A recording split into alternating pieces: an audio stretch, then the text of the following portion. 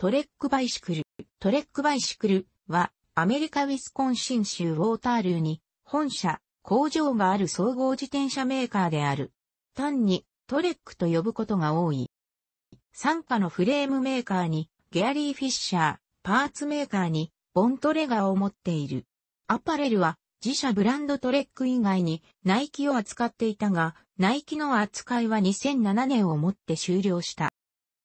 トレックバイシクルコーポレーションは、世界最大規模の自転車の製造、販売メーカーであり、ゲイリー・フィッシャーやボントレガーなどを傘下に持つ。2008年までは、レモンとクラインも傘下に入っていた。アメリカ合衆国ウィスコンシン州ウォータールーに本社を置き、北米で1700以上の販売店を通して自転車の販売を行い、ヨーロッパやアジアの子会社と代理店などを合わせて全世界90カ国以上で販売を行っている。ハイエンドフレームは本社のあるウィスコンシン州ウォータールーで製造され、ウィスコンシン州ホワイトウォーターで組み立てられる。ミドルレンジから下の大部分のモデルは台湾、中国にある工場でトレック USA のエンジニアによる設計、クオリティコントロールの下で製造される。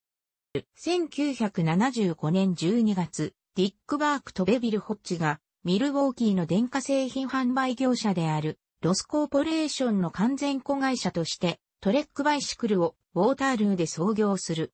1976年、トレックは5人の従業員で、当時日本製とイタリア製のフレームが独占していた、ミドル、ハイエンドモデルの市場をターゲットにしたスチール製のツーリングバイクフレームの製造をウィスコンシン州ウォータールーで開始した。トレックが初年度に製造した手製のフレームセットは900台で、すべて200ドル以下で販売された。同年トレックバイシクルは法人化した。1977年にミネソタ州リッチフィールドのペンサイクルが世界初のトレック販売店になった。創業から3年でトレックの売り上げは200万ドルに達していた。1970年代後半になると注文の増加に対して製造が追いつかなくなり、売り上げが頭打ちになった。その後数年間トレックは、初期の倉庫を拡張することで事態に対応していたが、1980年にウォータールー郊外の2400平方メートルの土地を開墾し、トレック本社を建設した。後に設立者の一人であるディック・バークは、あの本社を建てるまで我々のやっていたことはビジネスと呼べるのではなかった。と語っている。生産ラインを拡大したトレックは完成車の生産にも着手し、1982年にロードレース用自転車の生産を開始し、750や950といったモデルを市場に送り出した。1983年にトレックにとって初めてのマウンテンバイクとなる850が発表された。1984年、トレックはアフターマーケットパーツとアクセサリーの生産を開始し、トレックコンポーネントグループ TCG 部署を設立した。1985年、宇宙航空産業、アランやビータスなどの自転車会社の技術も、の力を活用して、トレックは初となるアルミニウムバイクフレーム2000を開発した。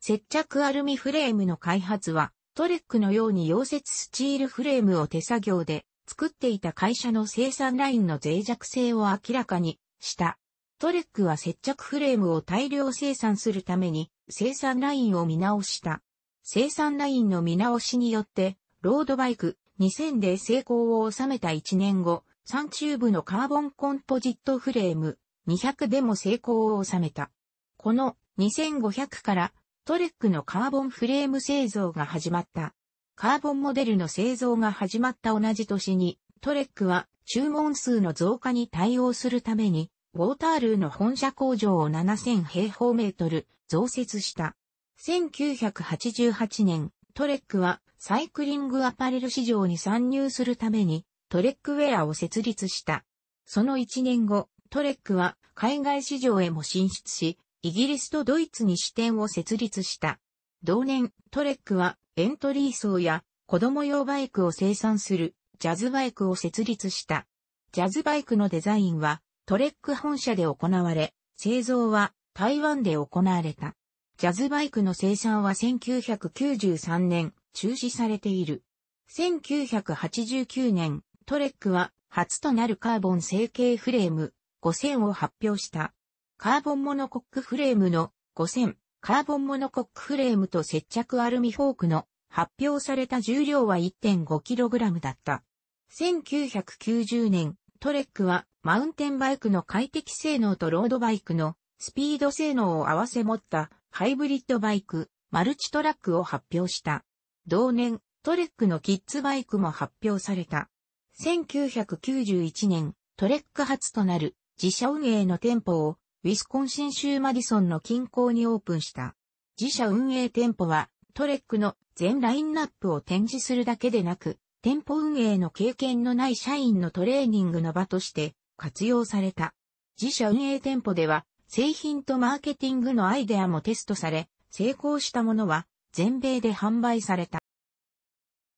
1990年代初頭、トレックのテクノロジー部署マネージャーのボブ・リードは、ソルトレークシティで開催された航空宇宙産業展に参加し、成形金型会社、ラディアスエンジニアリングの成形技術に出会った。その出会いは、リードに、トレックの将来は強靭で軽いカーボンフレームの製造にかかっていると確信させた。5000の時の経験を活かし、トレックは自社工場内に大掛かりなカーボンフレームの製造ラインを導入し、1992年、トレックは悪部カーボンを使用した初めての完全、自社製造カーボンフレーム5500と5200を発表した。悪部はアプテマムコンクション、ローボイド、超高密度圧縮、超低空撃率の略で、航空宇宙産業で使用されるカーボン技術をしのぐトレック独自の技術である。フレーム重量 1.11kg の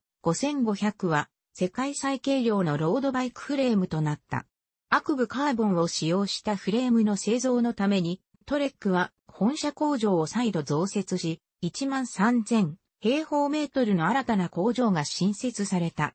1992年には同じくトレック初となる T3C サスペンションシステムを採用したフルサスペンションバイク9000シリーズも発表された。1993年、トレックは 1.29kg という世界最軽量でトレック初となるカーボンフレームマウンテンバイクである9800と9900を発表した。同年、トレックはマウンテンバイクの生みの親として知られ、オフロードサイクリング界で最も人気のあったゲイリー・フィッシャーの名前を冠したゲイリー・フィッシャーマウンテンバイクを収した。フィッシャーはゲイリー・フィッシャーマウンテンバイクを1983年に創業し、1991年に自らの社長のポジションを残したまま、自社を台湾の安連社に売却した。1992年に錦、小豆、桑原といった自転車を米国へ輸入していた法医、公園の助けを借り、18ヶ月後にフィッシャーをトレックに売却した。1994年、トレックは当時伸び盛りだったホームフィットネス市場に参入し、トレックのフィットネスマシン、エクササイクルを発表した。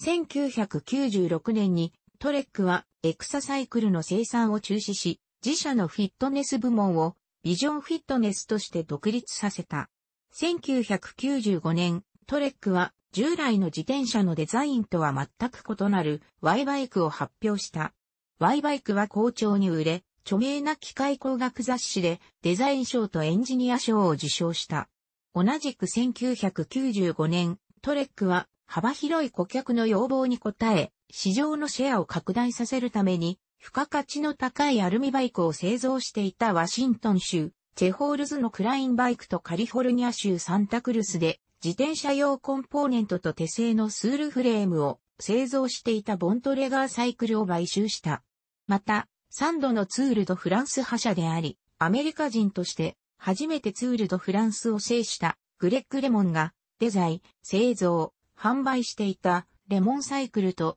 長期ライセンス契約を結んだ。1995年はトレックがウィスコンシン州ホワイトウォーターに最新鋭の組み立て工場を建設し、ウォータールーの工場をフレームの製造だけに集中させた年でもあった。1997年、トレックは自社がスポンサーを務めていたユナイテッド・ステイツ・ポスタルサービスプロサイクリングチームと元ロードレース世界王者のランス・アームストロングの契約を支援した。アームストロングは1999年にトレックの5500に乗ってツールドフランスで初優勝し、アメリカ製の自転車に乗ってツールドフランスを制した初のアメリカ人となった。その後アームストロングはトレックの自転車に乗って7年連続でツールドフランスを制覇した。2012年、アームストロングのツールドフランスでの勝利はドーピング違反によって取り消された。1998年、トレックはテクノロジー開発に従事していたエンジニアを集め、アドバンスドコンセプトグループ ACG を設立した。ACG によって生み出されたトレックの最先端テクノロジーを採用した製品はツールド、フランスで勝利を重ねていたランス・アームストロングによって使用され、世間に広まった。トレックを代表する一台である、マドン、2003年の最初の一台もその中の一つで、アームストロングがトレーニングや製品テストに使用したフランスの街、メントンを起点とする 2km の峠道、コルデ LA マドネから命名された。タイムトライアルバイクの TTX、2005年も同じくアームストロングによって世間に広まった。同年、1998年トレックはアイルランドのカーローにヨーロッパ初となる製造拠点をオープンし、フレームやホイールの組み立てを行った。カーローの工場はトレックがヨーロッパの製造拠点をドイツのハーマンスドルフにオープンした2004年後半に閉鎖された。2000年、女性サイクリストからの要望に応えるためにトレックは、ウィメン、S スペシフィック、デザインバイクとアクセサリーを発表した。WSD モデルは女性専用に設計され、アパレルのサイズや見た目も女性に適したものが開発された。2001年秋、トレックはユーザーが自分の好きなペイントスキームやコンポーネントを選択できるカスタムバイクプログラムプロジェクト1を発表した。2002年12月、新しい市場の開拓を狙って、トレックは北米やヨーロッパでの高級でパフォーマンスの高い自転車の旅を提供するトレックトラベルを設立した。2007年1月にトレックトラベルはトレックから独立した。別会社となった後もトレックとトレックトラベルの良好な関係は続いている。2003年、トレックはスイスの自転車会社ビラジャーとドイツで最も古い自転車会社のダイモントを買収した。この買収によってトレックはヨーロッパで重要な市場であるトレッキングバイク市場への係を得た。またこの買収によってトレックはドイツのハーマンズドーフにあったビラジャーダイモントの工場の所有権を得た。トレックの世界的な拡張は2005年も続き、中国の北京に販売店舗を2つオープンし、中国国内20の代理店と販売契約を結んだ。同じく2005年、トレックはウォータールーの本社で3回目となる増設を行い、新しく増設された4000平方メートルのスペースにはエンジニアリング、研究開発、マーケティング部署が入った。この増設の一環でトレックは商品展示スペース、アトリウムを設置し、ゲイリー・フィッシャーによって初めて制作されたマウンテンバイク、アームストロングがツール・ド・フランスを制覇した7回、それぞれの年、1995から2005年に乗っていた自転車などの歴史に残る自転車を展示している。数年間にわたるリーグ・オブ・アメリカン、バイシックリスッツとバイクス・ビロング・コーアリションへの支援後に、トレックは1 World 2 Wheels Bicycle Advocacy キャンペーンを年に1回ウィスコンシン州マディソンで開催される販売店向け展示会、トレックワールドで発表した。1 World 2 Wheels のスローガンは、 Go by Bike で、アメリカ人に 3km 以内の移動であれば、車に乗るよりも自転車に乗ることを推奨している。1 World 2 Wheels を通して、トレックは、リーグオブアメリカンバイシクリスツのバイシクルフレンドリーコミュニティに100万ドルの援助を行い、国際マウンテンバイク協会のトレイルソリューションズ、セルビセスに60万ドルを支援した。楽しくご覧になりましたら、購読と良いです。クリックしてください。